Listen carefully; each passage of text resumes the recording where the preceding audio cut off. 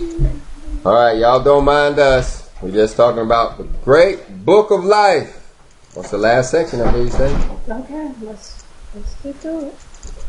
Some good stuff going on. All right, y'all. If you're just joining us, you you, you got uh, you're in chapter six of the third testament of the Bible. Um, so you're in an advanced class day?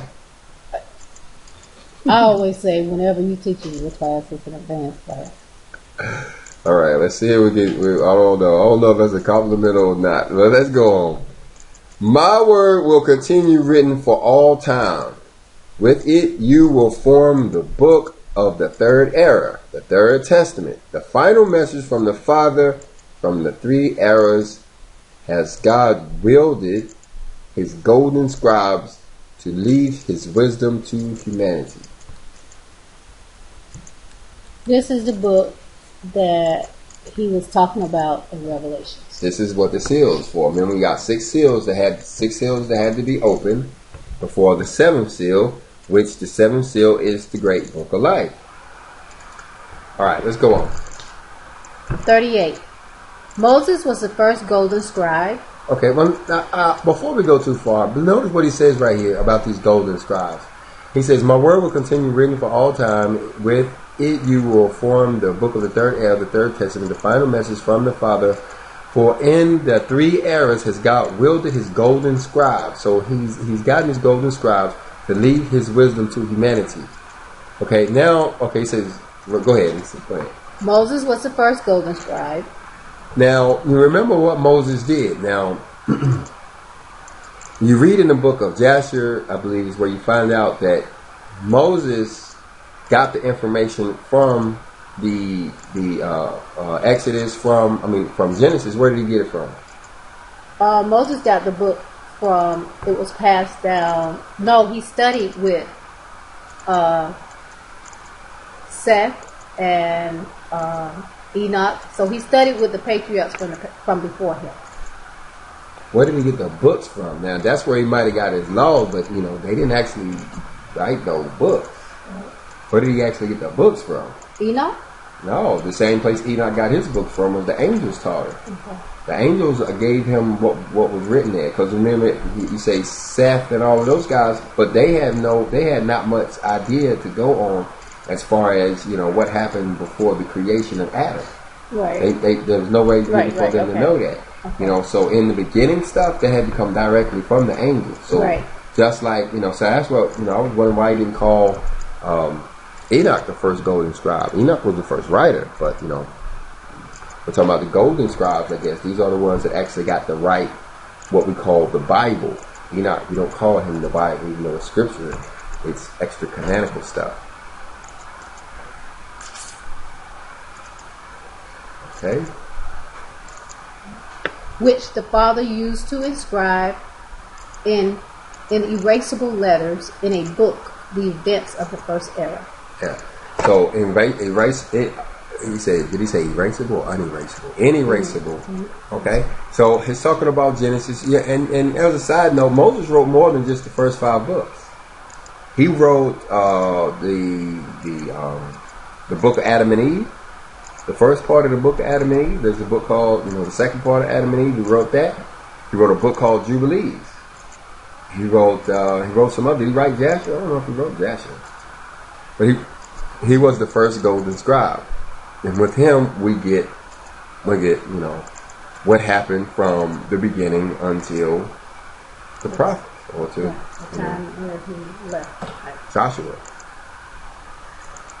Moses was the golden scribe of Yahuwah. Now, now this is weird. This, of course, that little lady over there be saying it's a whole. It's a. It's a. Remember, we just had this discussion in the last section about how she thinks there's two different gods: Jehovah, or Jehovah is found Jehovah, and Jesus. But now this kind of to what she's saying. She's jumping up and down there. But I told you, I told you. That he said, well, okay, well Moses was the scribe of Jehovah. Okay, let's go on. Among the apostles and followers of the second era, Jesus had four scribes who are um, Matthew, Mark, Luke, and John. Well, you know, oddly enough, it, like I said, it's just important what she said. Now, I don't, I don't still support her. You know, I think it's a crazy idea that there's two gods, but looking at this verse 38 and 39, I can understand her confusion now. That's, you know. Well, it seems to me like it's saying that Moses was, it's saying that Moses was the first scribe in that era, but then after he passed, other scribes came. Is, No. that, is that what he's saying? No, he's saying no. He's saying there's other scribes came, sure, but we're talking about the golden scribe. He said the golden scribe. We're talking about, and, and he, he names he names Moses first, and now he's about to tell you that Matthew, Mark, Luke, and John was the other golden scribes. So he don't even count like Thomas or the Gospel of Peter. He don't. He didn't even call Paul a golden scribe. So no, uh, Jeremiah, Isaiah, Daniel. Daniel wasn't even a golden scribe. Moses, and then Matthew, Mark, Luke, and John. These were the golden scribes of the divine master.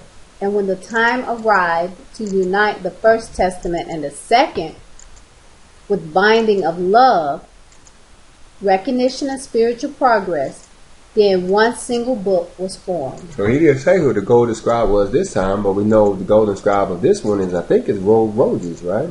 He was the reincarnated spirit of the Elijah uh, who gotten all of this these lessons back there in 1866 to 1884.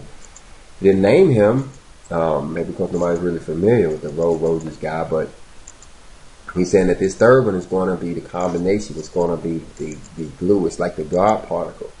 This is the one that, that you know makes everything make sense. Now, in the third era, in which you have again my word, I have given name the golden scribes, so that it may be written down. Oh, okay, so he's gonna tell us who the, the, the, the scribes are this era. We ain't got to guess. Hey, let's go. When the time arrives, you will form a single book, and this book, that of the third era, will, when the time is right, be united with the book of the second and first eras. And then, with the revelations, prophecies, and words of the three eras, the book of life will be formed for the enjoyment of all the spirits. You can you can put a check mark on this. This is done. That's done. That's done. What he's saying right there. You know, he's saying when these three books are put together, he's saying that he's going to have the golden scribes of this era. Well, the golden scribes of this era have already compiled this book. I mean, you're looking at it in a PDF form. I, I have it on a Word document on my computer. We're we're past that point. And he says when we put these two together, then what what what's going to happen then? Uh, the enjoyment for the enjoyment of the spirits. Then you shall recognize that from the first word to the last, all has been fulfilled in spirit and truth. Yep. Now, let me take this out. No, I can't take it down. That's the thing. So, in spirit and truth, he said he was coming back in spirit and truth, but nobody really understands what they mean until you get your hands on this copy of the Bible. I promise you. Until you read this or somehow get this, you can get it intuitively. You can get it through divine revelation. But you know, people like me, I have to get it out of the book. You know, and and once you get it though, you you you, you do understand what he means by spirit and truth. Spirit and truth. Now, this is from a reference earlier. This 637 goes all the way back to uh, verse 37 of chapter 6, where, let me see what it says. The reference is to those witnesses to the teachings of the Lord, whose task was the recording of the teaching in shorthand or typewritten form. He's talking about Moses and he's talking about Matthew, Mark, and John. Yeah. Okay. Well, let's finish this sentence. It starts right there at that, and then it comes down here at all. That all, go ahead. That all the prophecies were the future history that the Father revealed he revealed to humanity. Okay, I'm gonna to go back. Ooh. Then you shall recognize that from the first word to the last, all has been fulfilled in spirit and truth, that all prophecies were the future history that the Father revealed to humanity. Future history. Yeah. That's why we got a little confused on some of these verses, is because he's talking this future history stuff. Future his his story. Few, yeah, few. I don't know. It's, it's, it's, it, you don't know which. You don't know which. What are you talking? You been saying that you know something's going to happen. Are we waiting for a new book? No, it's already done. It's just written in a future history kind of way. For only God can write of events yet to be. Future history. Only God can write future history. When the prophets have spoken, it was not they, but God who did so through their conduit. Hmm. So for all of the people who say, "Man wrote the Bible," man wrote, who who wrote it? Who wrote it? Who wrote it? What was his name? Jeremiah. Jeremiah. He he was a man, wasn't he? Yeah. So he wrote the Bible, didn't he? Yeah. Well, there you go. Well, how did Jeremiah write the future? Jeremiah can't write the future. Right. it was it was the Father who did it through them. Yeah. See, you say you don't like the word play crazy. See, this book gets rid of play crazy. You know, we can stop play crazy and you know what I'm saying, and we can get into spirit and truth. You know, you wanna know what play crazy mean? Play crazy the opposite of spirit and truth. It's materialism and ignorance. Put them two together, you get play crazy. Where we at? Forty-three. I have prepared my new chosen ones sufficiently, and had as had been Moses and the four disciples in the second era, so that my words is recorded with complete cleanness, clarity, and truth. For it is for the generations of tomorrow. And if any word add to or remove anything from the book, I shall see to them. Talking about these golden scribes. That's why they golden scribes. That's why you don't let everybody write everything. His word is, is, is it, guys. His word is the most important thing on the planet. If you can somehow eliminate, uh, y'all, y'all get Donald Trump and the Pope to close their ears, but if you can somehow eliminate the word of God off of this planet, Satan would have it. He, he belonged to him. The, the world will be over. Forget about it. It's not worth living. Ain't nothing, it ain't gonna live. It can't live without the word.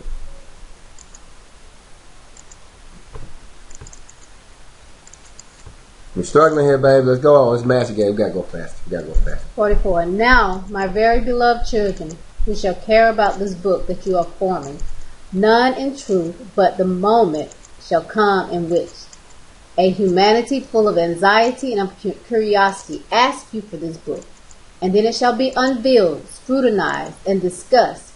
In that struggle of ideas, brand, fans will arise, men of science, theologians, philosophers, and the book of wisdom, and all shall speak of my doctrine. Yeah. Oh, oh, she, I'll tell my wife master She's gone. She ready to get gone. Now, my very beloved children, who shall care about this book that you are forming? None, in truth, but the moment shall come in which humanity, full of anxiety. See, now, eh, eh, you, you wonder why Coach in the Fight putting up all of these videos. I, I didn't put up how many hours do you think a video? Mm. Take a guess. A hundred hours? A thousand hours? More than a hundred. More, I would say probably about five, five, about five hundred. But nobody, nobody has. I mean, only a few people has had a chance to watch them. You know, but yet I'm still cranking them out as fast as I can. And so why? Because I'm following the pattern of this third of this third testament here. So that's what it's saying. Who shall care about who shall care about you know this this this class that we're putting back together? Nobody. Nobody gonna care about it. Not now. Not in 2018. We probably got ten hits. In truth, but the moment shall come which which a humanity full of anxiety and of curiosity asks for your book, meaning they want to know where you're getting this information from. How are you knowing to do this stuff? How are you understanding? How are you moving mountains? How are you flying? How are you how are you changing weather patterns. And then it shall be unveiled. Okay, so once they ask for it, then of course people are going to give it to them. You know, I've been I've been trying to force it in their hand already. I ain't waiting for them to ask. I give them a link to the Third Testament, you know, in a quick minute. But once they get it, then it'll be scrutinized. You know, kind of, you know, they want to see, you know, people going to want to test it out. People take religion and, and scripture very seriously. They're going to look at it and discuss. And that struggle of ideas uh, these bands will arise in the struggle. Bands will arise, which means groups of people are going to form. Some going to say this and some going to say that.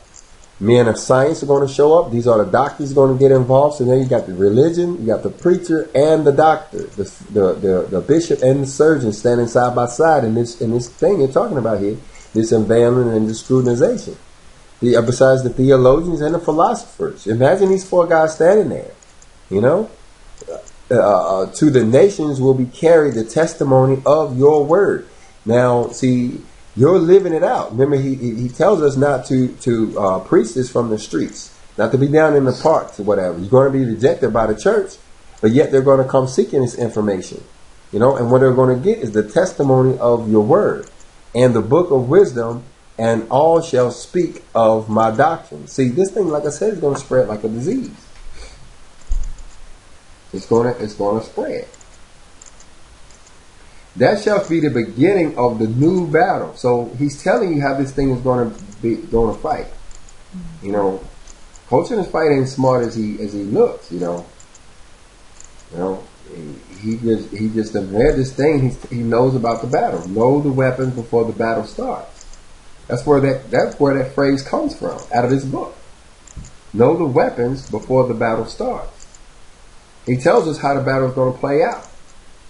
You know, we playing chess, and I already know what moves you're gonna make. I already know your strategy. I don't found me some chess book that you've been studying that shows your openings, your middle game, and your close game, and I know what you're gonna do. And it's just a matter of playing my pieces according to what you're about to do. I can still make mistakes, but hey, I know what you're gonna do. That gives me a slight advantage, don't you think?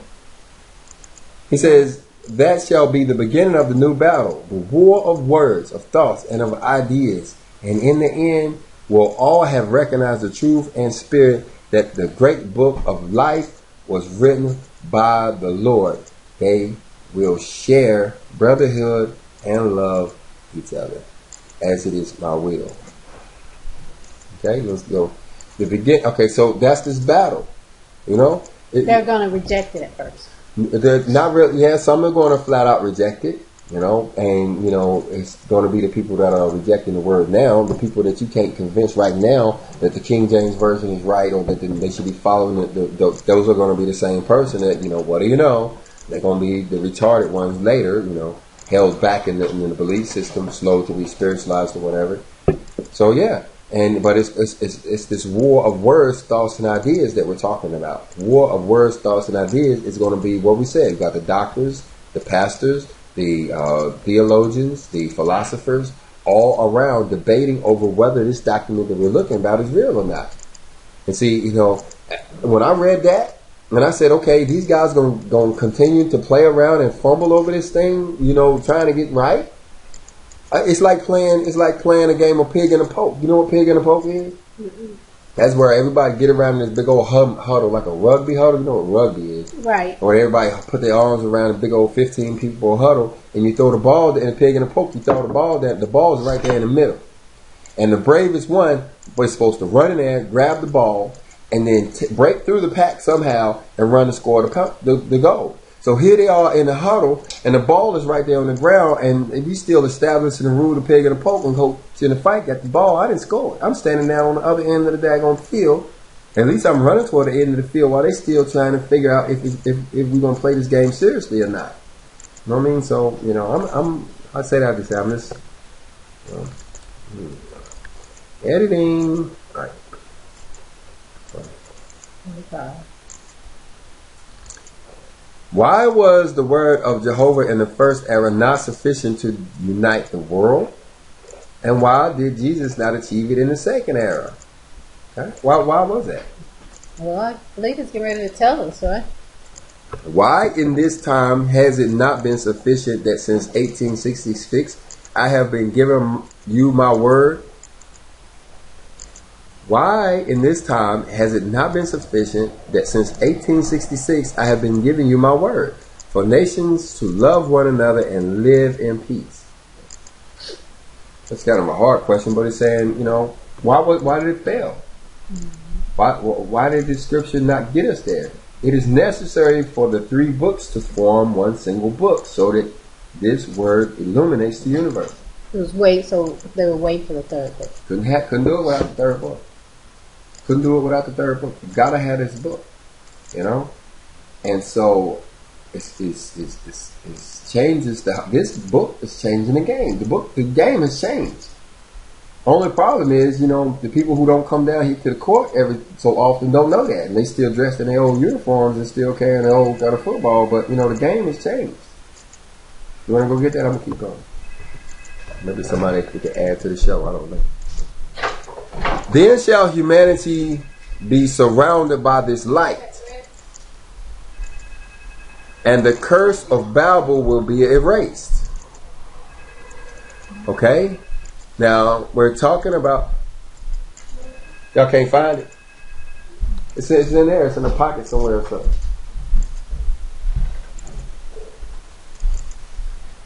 All right, let's see. We almost finished with this, y'all. We're almost finished with this chapter.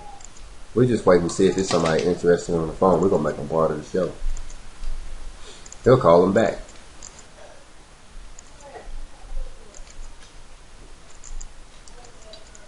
Now we'll go ahead and wrap it up.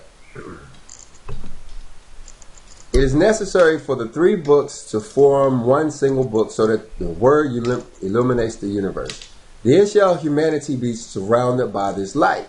The light, remember, is the understanding. So once we have the three books, it's kind of like one of those movies where you had to have the three parts, and you know these books, these these parts were um, um, unilluminated, you know, by themselves. They didn't really do much, but once you put them all three together, they came to life. That's what this is talking about. Then shall humanity be surrounded by my light, and the curse of Babel will be erased. Okay, now what was the curse of Babel?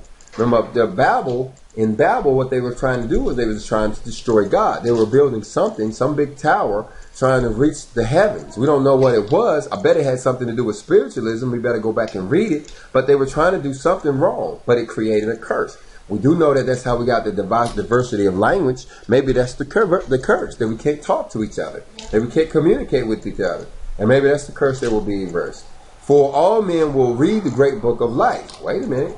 Everybody going to read this thing. Remember, it's not just on paper, but it's in your spirit too. So you, you, you, can read it on paper, or you can read it, you know, through you know divine revelations. But it's going to get in there either way. It's it's a it's destined for our spirits. Our spirits are going to have this thing regardless, and we'll practice the same doctrine. Okay, and we'll love one another as children of God. See, right now we don't practice the same doctrine. There's millions of doctrines. Doctrine means teaching.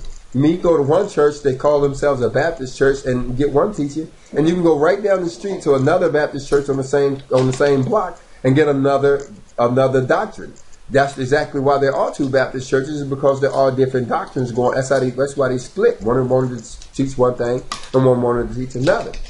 And we'll love one another as children of God. See, right now, you know, we don't really understand this. This materialism got us twisted up, thinking we have to, you know, hoard stuff and we're going to do so in spirit and truth. The spirit and truth is big, guys. And you know, we're about to wrap this thing up. It's you know, y'all find it? Yes, mom. Well, let's call it back. Y'all want to hear? Y'all, y'all you want? Let's let's wrap up the show and then we'll call it back. So the way we end uh, the way we end the chapters is made peace with you. But you know, anything you want to say? You missed the last verse. They're talking about the Tower of Babel. You can hear it on the show. Okay, I will. So, anything else you want to close out on chapter six? Anything you learned? Anything stand out in closing remark? Um, it's just re um reiterate how important this book is to to us, and that uh, all books go together. That all three are, are needed. And um, yeah, it was a good study for me. A good study. My peace be with you. Hermes Academy. Power, patience, continence, and faith. We teach virtue.